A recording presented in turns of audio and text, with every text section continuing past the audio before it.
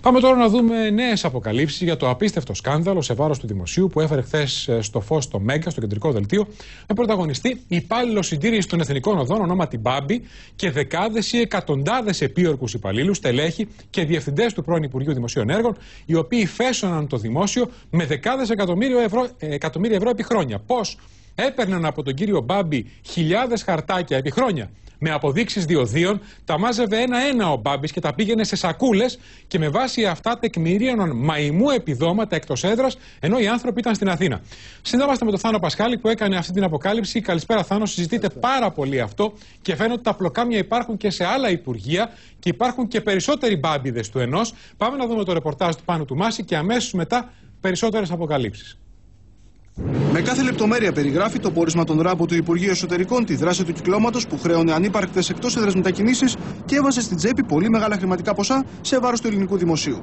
Πρόσωπο κλειδί της απίστευτης κομπίνας ήταν ένας υπάλληλος του Υπουργείου με το όνομα Μπάμπης, που προμήθευε το κύκλωμα με αποδείξεις διοδίων για να δικαιολογούνται οι πληρωμές των μαϊμού μετακινήσεων. Τις αποδείξεις των διοδίων τις προμηθεύει στους υπαλλήλους της ΔΙΠΑΔ και γενικά σε όλο το υπεχοδέ μία φορά το μήνα ένας υπάλληλος του υπεχοδέ ονόματι Μπάμπης, ο οποίος τις προμηθεύεται είτε σε συνεργασία με τους υπαλλήλους των διοδίων είτε τις μαζεύει από το οδόστρωμα αφού τις έχουν απορρίψει οι οδηγοί των διερχόμενων οχημάτων. Ο ανωτέρω υπάλληλος καλύπτει τη διαδρομή Κόρινθο, Πάτρα, Τρίπολη, Γέφυρα Ρίο Αντίριο. Αυτό ακριβώς έκανε ο περίφημος Μπάμπης. Έρχονταν σταθμούς διοδίων, μάζευε τα χαρτάκια που είχαν πετάξει οι οδηγοί που περνούσαν από τα διόδια και κατόπιν αυτά τα χαρτιά τα έδινε στα μέλη του κυκλώματος που τα παρουσίαζαν ως αποδεικτικά για τις εκτός έδρας μετακινήσεις τους. Όλα ήταν άριστα σχεδιασμένα, όπως φαίνεται στο πόρισμα των ελεκτών δημόσιας διοίκησης που αποκαλύπτει σήμερα το Μέγκα. Σημειώνεται ότι προηγείται σε πολλές περιπτώσεις μια συνεννόηση με τους υπαλλήλους των υπηρεσιών για τις ημέρες που θέλουν να δικαιολογήσουν εκτός έδρας μετακινήσεις. Ο Μπάμπης εισπράττει από τους υπαλλήλους το αντίτιμο των διοδίων σαν αμοιβή του. Όσον αφορά τα δικαιολογητικά ξενοδοχείων, αυτό κατά την άποψή του, μάλλον πρέπει να γίνεται με απευθεία συνεννόηση των υπαλλήλων με συγκεκριμένα ξενοδοχεία. Είχαν συνοηθεί με τους ξενοδόχους να τους δίνουν αποδείξεις και τους δίνουν το ΦΠΑ. Αυτό ήταν γνώστο γιατί χρησιμοποιούσαν τα ίδια ξενοδοχεία, άλλοτε πραγματικές αποδείξει, άλλοτε ήταν ε, ε πλαστές. Είναι χαρακτηριστικό ότι ενώ το 2003 το ποσό των αποζημιώσεων για τις εκτός έδρε μετακινήσεις ανερχόταν στα 8 εκατομμύρια ευρώ, μετά από διαδοχικές αυξήσεις εκτοξεύτηκε το 2008 στα περίπου 22 εκατομμύρια. Ο Υπουργός Εσωτερικών, σε συνέντευξή του στο βήμα της Κυριακής, τονίζει ότι η κυβέρνηση είναι αποφασισμένη να σταματήσει το καθεστώς ατιμορρησίας στο δημόσιο. Άμεση προτεραιότητα της κυβέρνησης είναι η ριζική αλλαγή του πειθαρχικού δικαίου, έτσι ώστε να πάψει το καθεστώς ατιμορρησίας που σήμερα ισχύει. Γιατί σήμερα πρώτα βγαίνει κανείς στη σύνταξη και μετά τελεσιδική βάρος του η πειθαρχική απόφαση. Το πόρισμα των επιθεωρητών του Υπουργείου Εσωτερικών έχει σταλεί στον εισαγγελέα, ενώ έχει ξεκινήσει πειθαρχικός έλεγχος για τους εμπλεκόμενους υπαλλήλους.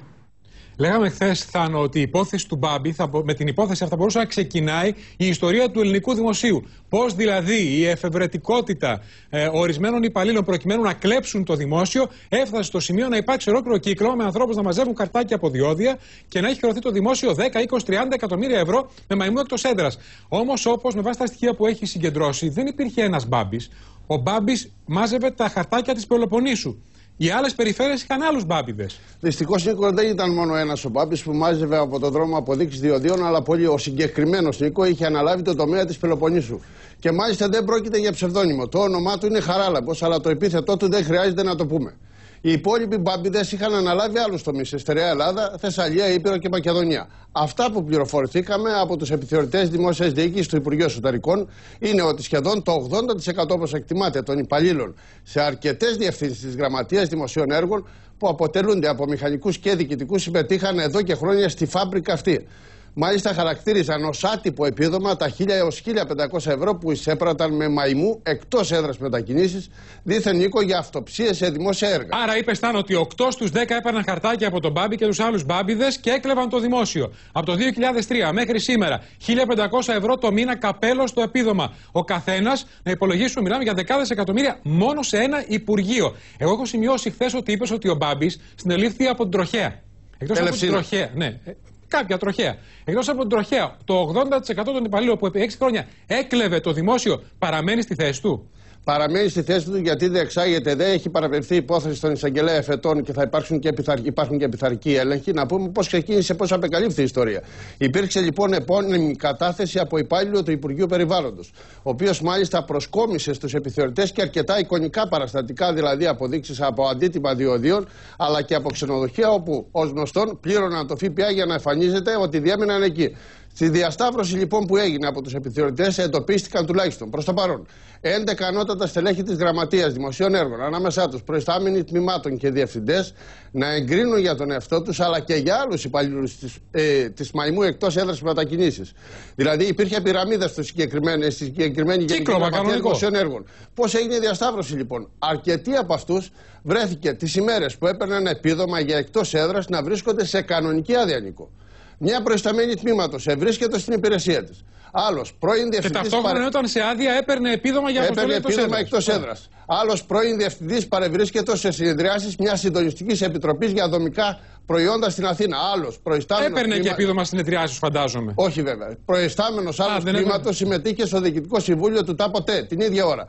Το 2003, Νίκο, οι εγκρίσεις για εκτός έδρας, όπως αναφέρθηκε και στο ρεπορτάζ, ήταν 8 εκατομμύρια ευρώ και το 2008 έφτασαν τα 22 εκατομμύρια ευρώ. Δηλαδή δόθηκαν καπέλα εκατομμύρια ευρώ ω ανύπαρκτε μετακινήσεις.